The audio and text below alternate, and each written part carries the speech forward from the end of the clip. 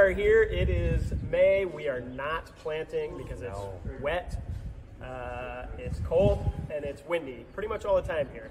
So we are here with Stefani Grant with Unilever. Yep. Um, and uh, we've been kind of just cruising around and checking out cover crops. Our camera moved. It's fine. It's fine. Hold on.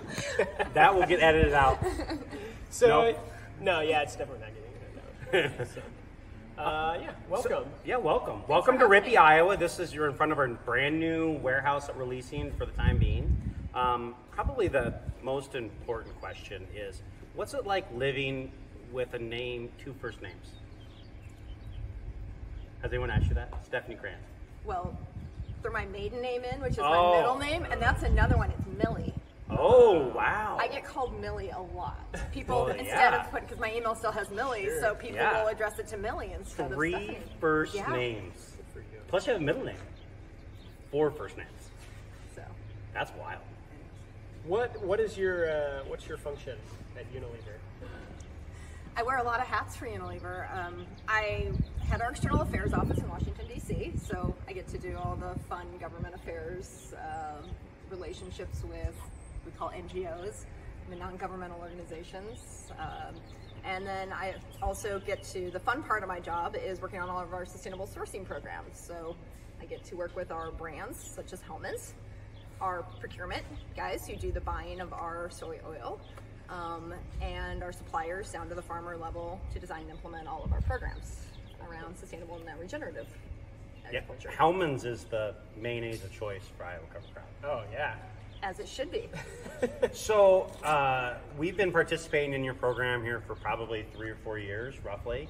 Uh, tell us more about your program with cover crops and, and Hellman's. Yeah, we've been working with Iowa farmers since about 2012, 2013, and in 2015 we did our first pilot around cover crops because we were working with farmers, understanding what practices you all wanted to do, maybe needed some assistance in, in helping with whether it's financial, technical.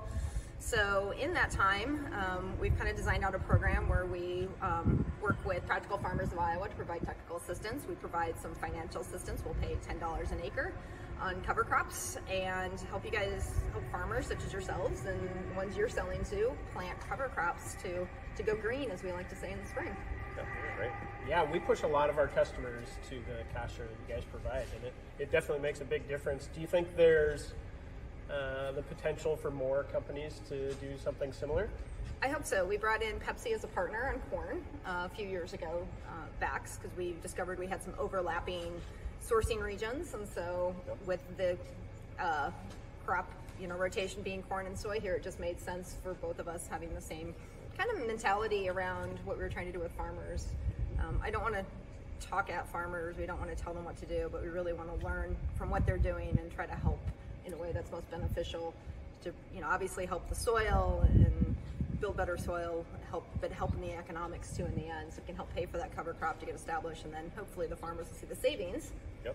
as you go on and you can have less um, less nitrogen use less chemical use and all those things and less passes which saves on fuel so hopefully in the end it's that trade-off of a little extra expense but then you see the savings down the road And what geographical area are you covering today? So basically, um, our supplier is out of Des Moines, so we kind of go that whole 100 mile radius around the Des Moines, give or take. Um, and we work with a lot of the co ops in the area, so you don't have to worry about who you deliver to for the most part. Um, you can contact PFI and they'll let you know uh, if you are in our sourcing region or not. Perfect. What's your favorite cover crop?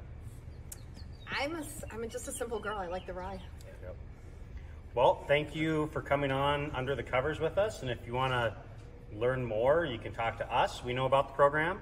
You can talk to Practical Farmers or your local cooperative retailer. And we appreciate your partnership and what you guys are doing to help get that out. So Cool. Thank you. thanks.